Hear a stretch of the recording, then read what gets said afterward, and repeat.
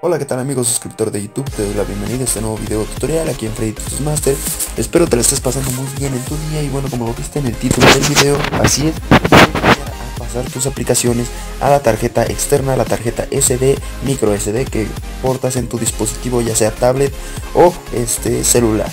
Así que vámonos a comenzar, vámonos a ir aquí a nuestra configuración de nuestro sistema, aquí en ajustes, nos deslizaremos aquí en aplicaciones le vamos a dar en la opción de administrador de aplicaciones.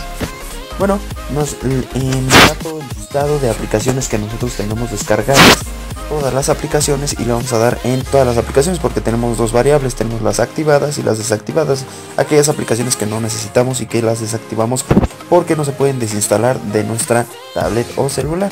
Bueno, aquí vamos a buscar alguna aplicación, como lo puede ser Diamond Dash, un juego.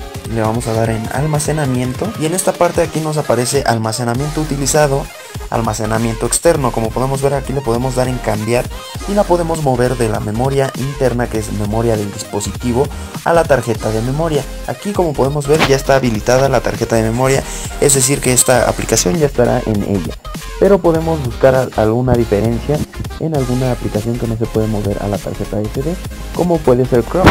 Aquí nos va a dar el mismo lanzamiento almacenamiento aquí nos va a dar esta opción pero aquí no nos habilita la opción de mover a la tarjeta SD o sea del lugar de almacenamiento porque esta aplicación es necesario que esté en el, en el equipo y no en una tarjeta SD porque bueno es muy necesaria y no nos lo permite nuestro sistema. En alguna otra aplicación como por ejemplo puede ser Facebook Facebook es una aplicación bastante pesada y bastante constante que se pueda cambiar de nuestra memoria a de nuestra memoria interna a la externa y viceversa.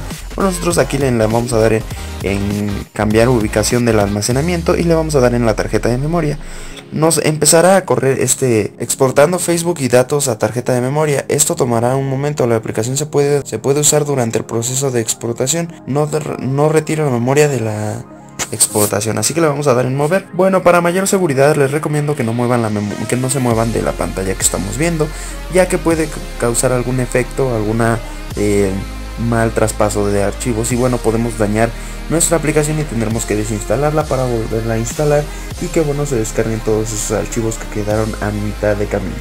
Así que esperaremos un poquito a que se termine de pasar la memoria y bueno cuando termine este proceso no, eh, no te avisará no pasará nada simplemente nos, nos la pantalla como la estamos viendo ahorita y nos regresará a nuestro administrador de aplicaciones en la sección de Facebook así que ya podremos ver ahí que estará habilitada la aplicación y estará en la tarjeta de memoria la tarjeta SD para poder eh, ver que su peso se ha trasladado a esa memoria y ya no la tendremos ocupando un peso excesivo e innecesario en nuestro dispositivo.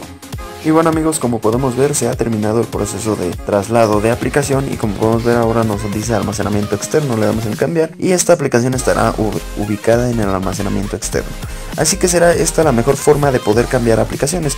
Como te indiqué anteriormente, no podemos cambiar aplicaciones a, la memoria externa por cuestiones diferentes, porque son cuestiones, son este son aplicaciones que están directamente instaladas en el sistema que te da la, la tablet o el celular por default y no las puedes trasladar de una memoria a otra fácilmente y ni tampoco las puedes desinstalar. Así que bueno, espero que te haya sido de utilidad este video. Ya sabes que te puedes suscribir para que veas todos los videos voy subiendo al canal y los anteriores. Déjame tu like y hazme saber en los comentarios qué te parece este video y si quieres ver algo diferente o alguna aplicación. Y bueno, me despido, me llamo Freddy nos vemos en la próxima.